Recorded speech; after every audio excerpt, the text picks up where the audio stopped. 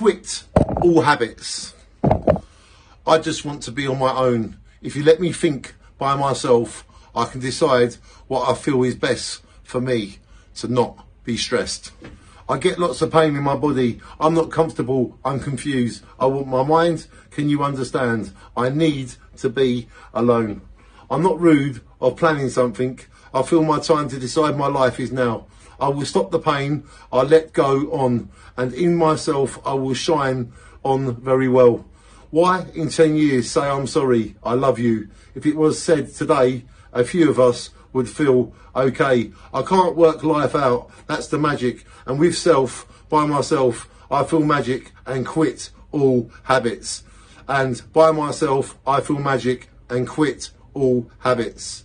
I wrote Quit All Habits on the 3rd of September, the year 2009. And today is the 6th of April, the year 2021. Quit all habits. It's easy. It's in your mind. You don't need so many cups of teas. You don't need so many coffees. You don't need any cigarettes. Quit all habits. It's easy. Dye your hair blue. Quit all habits.